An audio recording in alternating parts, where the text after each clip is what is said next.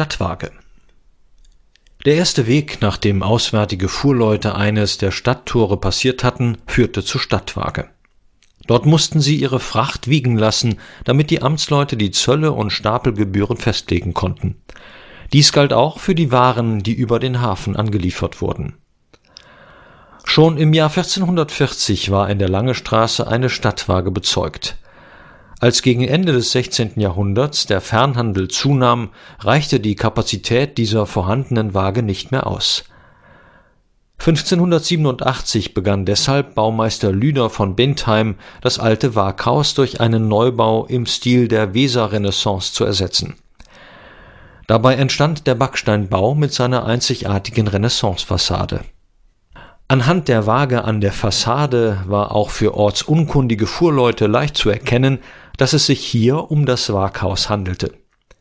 Eher schmucklos präsentiert sich dagegen die Rückseite des freistehenden Gebäudes.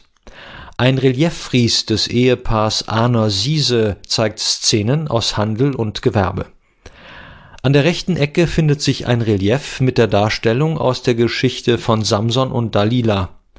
Über einem Seiteneingang halten zwei Löwen das Bremer Wappen mit dem Schlüssel auf rotem Grund